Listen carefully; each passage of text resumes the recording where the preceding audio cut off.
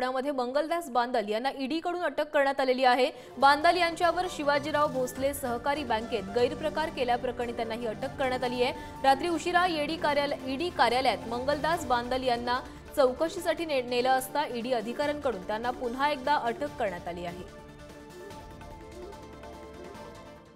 नेमके मंगलदास बांदल कोण आहेत? पाहुयात ग्राफिक्सद्वारे दोन वेळा पुणे जिल्हा परिषदेचे सदस्य आणि जिल्हा परिषदेच्या बांधकाम विभागाचे ते सभापती राहिलेत.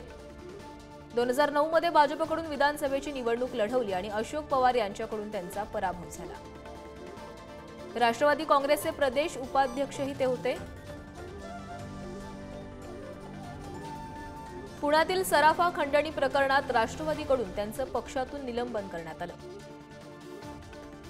दोन हजार एकोणीसमध्ये दिलीप वळसे पाटील यांच्या विरोधात त्यांनी निवडणूक लढवली होती.